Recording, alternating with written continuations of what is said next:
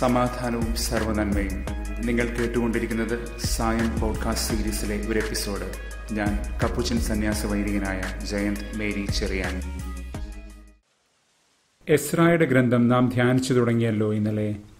B C അഞ്ഞൂറ്റി തൊണ്ണൂറ്റിയേഴിൽ നബുക്കത്ത് കീഴിൽ യൂതയായിലെ ജനങ്ങൾ ബാബിലോണിലേക്ക് നാടുകടത്തപ്പെട്ടു അവിടെ ഏകദേശം ഏഴ് പതിറ്റാണ്ടുകൾ കഴിഞ്ഞതിന് ശേഷം ആ ജനം ബാബിലോണിനെ തകർത്ത പേർഷ്യൻ രാജാവായ സൈറസിന്റെ കീഴിൽ ബി സി അഞ്ഞൂറ്റി മുപ്പത്തെട്ടിനോടടുത്ത് യൂതയായിലേക്ക് തിരികെ വരാൻ തുടങ്ങി. ഇന്നലെ നാം കണ്ട സിയോനിലേക്കുള്ള തിരിച്ചുവരവ് ഷിവാത് സിയോൻ. നബുക്കദ്നേസർ ബാബിലോണിലേക്ക് കടത്തിയവരിൽ മിക്കവരും തന്നെ ആഡ്യന്മാരും യോഗ്യന്മാരും വിദഗ്ധ ശില്പികളും മറ്റുമായിരുന്നു.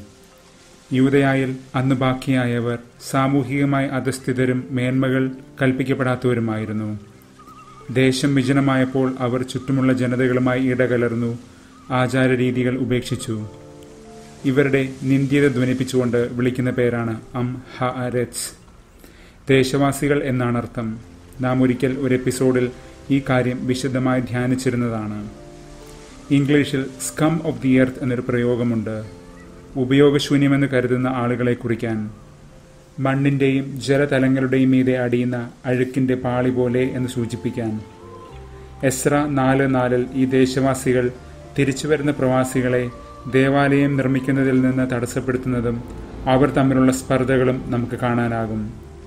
ഇന്ന് സുവിശേഷത്തിൽ നാം ഇവരെ കാണുന്നുണ്ട്. അം ഹ ആരച്ച് മറ്റൊരു പേരിലാണെന്ന് മാത്രം. പാപികൾ. പാപികളെന്ന് ഫരിസെയർ മുദ്രകുത്തി വിളിക്കുന്നവർ. ആചാരശുദ്ധിയും ധർമ്മനിഷ്ഠയും ഇല്ലാത്തവരെന്ന് ഫരിസെയർ ആരോപിക്കുന്നവർ.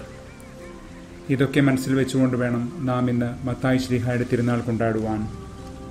ഇന്ന് സങ്കീർത്തനം പത്തൊമ്പത് സവിശേഷമായ ഒരു ചേരുവ മുന്നോട്ട് വയ്ക്കുകയാണ്. സൃഷ്ടിയിലും നിയമഗ്രന്ഥത്തിലും വെളിവാകുന്ന ദൈവത്തെ സമന്വയിപ്പിച്ചുകൊണ്ട്. ആദ്യ ഭാഗം സൃഷ്ടിയിൽ നിന്ന് ദൈവമഹത്വവും സ്നേഹവും വായിച്ചെടുക്കുന്നു. സൂര്യൻ അവിടെ ഒരു പ്രധാന കഥാപാത്രമായി വരുന്നുണ്ട്. സൂര്യന്റെ ഊർജസ്വലതയും ജീവസന്ധാരണ ശേഷിയും. സൂര്യൻ ഒരു സൃഷ്ടി മാത്രമാണ്. ബാബ്ലോണിയർക്കാകട്ടെ സൂര്യൻ ഒരു അതിദേവനായിരുന്നു ഷമാഷ്. ഈ സങ്കീർത്തനം ഇപ്രകാരം ബാബിലോണിന്റെ കെട്ടുപാടുകളെ പൊളിച്ചെടുക്കുകയാണ്. സൂര്യൻ എത്ര ഗുണകാരിയാണെങ്കിലും അതെല്ലാം ദൈവത്തിന്റെ ഗുണദായകത്വം പ്രൊവിഡൻസിന്റെ നേർത്ത അടയാളം മാത്രമേ ആകുന്നുള്ളൂ. സൃഷ്ടിയിൽ അത്രമാത്രം ദൈവപരിപാലന വിളങ്ങുകയാണ് നമ്മുടെ വളർച്ചയും നവീകരണവും അതിനുവേണ്ടി ദൈവം എല്ലാം ക്രമപ്പെടുത്തിയിരിക്കുന്നു എന്ന് സൃഷ്ടി നമ്മെ പഠിപ്പിക്കുകയാണ്. അതിന്റെ ചുവട് പിടിച്ചുകൊണ്ടാണ് സങ്കീർത്തനം മറുപാതിയിൽ ദൈവകൽപ്പന തോറായി ധ്യാനിക്കുന്നത്. അത് ദൈവനിയമവും ദൈവിക പ്രബോധനവുമാണ്. അത് ആത്മാവിന് ആനന്ദമാണ് പരിപൂർണമായ ജീവിതത്തിന്റെ മാർഗരേഖയും. അത് ജീവൻ പകരുകയും ഹൃദയത്തെ ആനന്ദഭരിതമാക്കുകയും ചെയ്യുന്നു. മാത്രമല്ല ഈ സങ്കീർത്തനം കർത്താവ് യാഹ്വെ എന്ന പ്രയോഗത്തോടൊപ്പം ഏൽ സർവാധി ദൈവം എന്നൊരു പ്രയോഗവും ആവർത്തിക്കുന്നുണ്ട്. ഇസ്രായേലിന്റെ കുലദൈവം മാത്രമല്ല കർത്താവ് അവൻ സർവലോകത്തെയും മെനഞ്ഞവനും രക്ഷിക്കുന്നവനുമാണെന്ന് ആചരണം നമ്മെ ഓർമ്മിപ്പിക്കുകയാണ്. ഇന്ന് ചുങ്കസ്ഥലത്ത് മത്തായിയെ നാഥൻ വിളിക്കുന്നു. തുടർന്ന് സംഭവബഹുലമായ കാര്യങ്ങൾ അരങ്ങേറുന്നു. മത്തായി ഒമ്പത് ഒമ്പത് മുതൽ പതിമൂന്ന് വരെ. മത്തായിയെ ഒരു പുതിയ ജീവിതത്തിലേക്ക് നാഥൻ വിളിക്കുകയാണ്.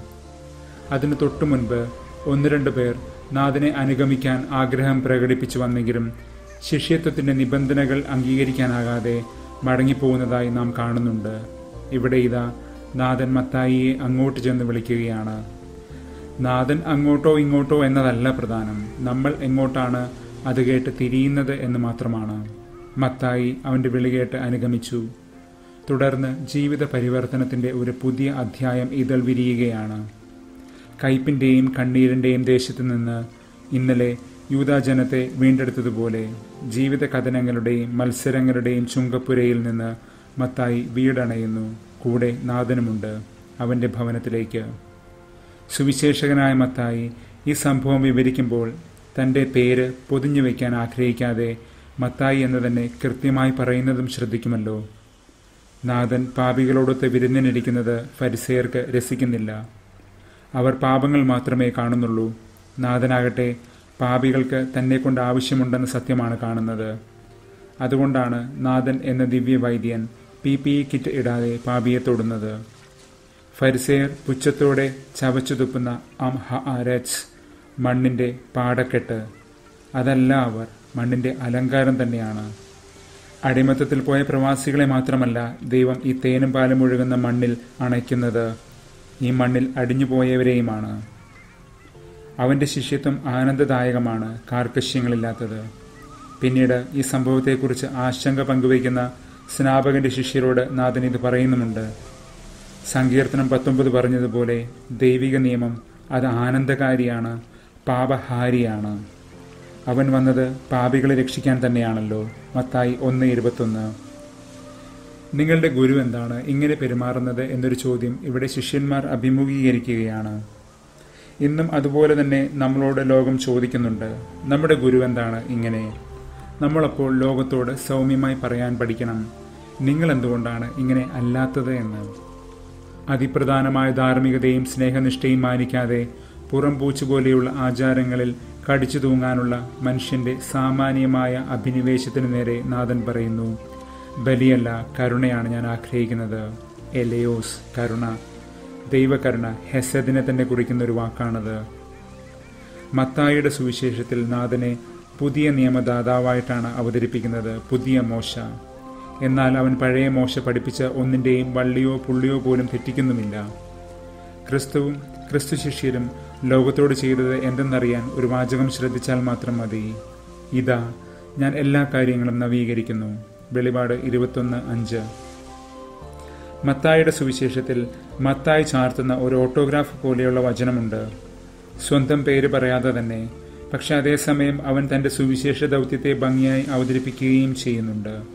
മത്തായി പതിമൂന്ന് അമ്പത്തിരണ്ട്. ഭവനത്തിൽ പ്രവേശിച്ച് നിക്ഷേപത്തിൽ നിന്ന് പഴയതും പുതിയതും പുറത്തു കൊണ്ടുവരുന്നവനെ പോലെയാണ് ദൈവരാജ്യത്തിന്റെ നിയമജ്ഞൻ എന്ന്. ദൈവരാജ്യത്തിന്റെ ഉപമകൾ വിടരുന്ന ഒരു അധ്യായമാണ് മത്തായി പതിമൂന്ന്. ദൈവരാജ്യത്തിന്റെ ഈ രഹസ്യങ്ങളാകട്ടെ ശിഷ്യർക്ക് മാത്രമാണ് നാഥൻ പകർന്നു നൽകുന്നതും. മത്തായി പതിമൂന്ന് പതിനൊന്ന് പതിനാറ്. അതുകൊണ്ട് തന്നെ ക്രിസ്തു ശിഷ്യൻ മത്തായിയെ പോലെ ദൈവരാജ്യത്തിന്റെ നിയമം അറിയുന്നവനാണ്. അതെ പുതിയ നിയമം. പക്ഷേ അത് പഴയ നിയമത്തെ എങ്ങനെ പൂർത്തീകരിക്കുന്നു എന്നതിന്റെ സ്നേഹ വഴികളും അവർക്കറിയാം. ദൈവത്തിന്റെ ഈ സ്നേഹനിഷ്ഠകൾ കണ്ടവർ ദൈവത്തിന്റെ ഈ സ്നേഹപാഠങ്ങൾ സ്വീകരിച്ചവർ അത് ലോകത്തിന് പകർന്ന് പഠിപ്പിക്കാൻ വിളിക്കപ്പെട്ടിരിക്കുന്നു. പുതിയത് കായന പഴയത് പലായിയ. ദൈവത്തിന്റെ സ്നേഹത്തിന്റെ സമഗ്രഭാവങ്ങളാകെ. അളവില്ലാത്തതും അതിരില്ലാത്തതുമായ ദൈവത്തിന്റെ സ്നേഹ പദ്ധതി തന്നെ. ഇന്ന് ശ്രീഹ എഫ് എ സിയോട് സംസാരിക്കുകയാണ്. എഫ് എ സിയർ നാല് ഒന്ന് മുതൽ പതിമൂന്ന് വരെ ഒരു ജനത്തെ തിരിച്ചു കൊണ്ടുവന്ന് ദേവാലയം പുതുക്കി പണിയാൻ എസ്ര തുടങ്ങുന്ന ഭാഗം നാം ഈ ദിവസങ്ങളിൽ കണ്ടുവരുന്നെങ്കിൽ ശ്രീഹ ഇവിടെ യഥാർത്ഥ ദേവാലയമായ സഭ ക്രിസ്തുവിന്റെ ശരീരം എന്ന സത്യത്തിലേക്കാണ് നമ്മുടെ ശ്രദ്ധ ക്ഷണിക്കുന്നത്. നാഥന്റെ ശരീരത്തിന്റെ അംഗങ്ങളായി പുതുജന്മം പ്രാപിച്ച നാം എങ്ങനെ പൊതുജീവിതം നയിക്കണമെന്ന് പഠിപ്പിക്കുന്ന ഭാഗമാണിത്. അവൻ എല്ലാത്തിനെയും ഒന്നാക്കുന്നു. എഫേസിയർ ഒന്ന് ഒമ്പത് മുതൽ പത്ത് വരെ. ഐക്യം യൂണിറ്റി വൈവിധ്യം ഡൈവേഴ്സിറ്റി പൂർണത മെച്യൂരിറ്റി ഇതാണ് സഭയുടെ ഈ സഞ്ചാരപദം. അവിടെ ഫരിസേയർക്കും പാപികൾക്കും ഗ്രീക്കുകാർക്കും സ്വതന്ത്രർക്കും അടിമയ്ക്കും ഇടമുണ്ട്. നാഥന്റെ വിളികേട്ട് സ്വന്തം നീതീകരണങ്ങൾ മാറ്റിവെച്ച് ദൈവിക നീതി തേടാൻ തയ്യാറെങ്കിൽ. അങ്ങനെയാണ് ക്രിസ്തുവിന്റെ വരവിൽ നാം ക്രിസ്തുവിനെ പോലെ പരിപക്വത നേടിയവരായി കാണപ്പെടാൻ പോകുന്നത്.